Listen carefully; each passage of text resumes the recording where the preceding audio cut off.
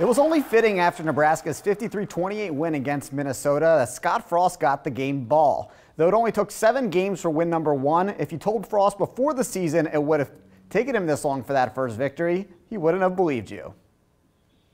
We're a good enough team to have won several that we lost. Um, that's not the way it went. Um, that doesn't matter now. That doesn't matter now. Now we just got to keep going forward getting better, and, and I think our team understands that, and especially the last few weeks has, has really committed themselves to that.